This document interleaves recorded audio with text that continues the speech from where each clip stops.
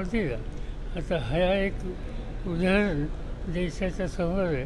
आजच्या राज्यकर्त्यांनी त्यांना योग्य होतं तसं ते करावं. त्यांची जागा दाखवा मुख्यमंत्र्यांनी संदर्भात असं आहे की मला आठवत आहे की लाल बहादूर शास्त्री हे रेल्वेचे मंत्री असताना एकदा ॲक्सिडेंट असा झाला. पुन्हा एकदा झाला. आणि तो झाल्याच्यानंतर जवाहरलाल नेहरू राजीनामा देण्याच्या विरुद्ध होते.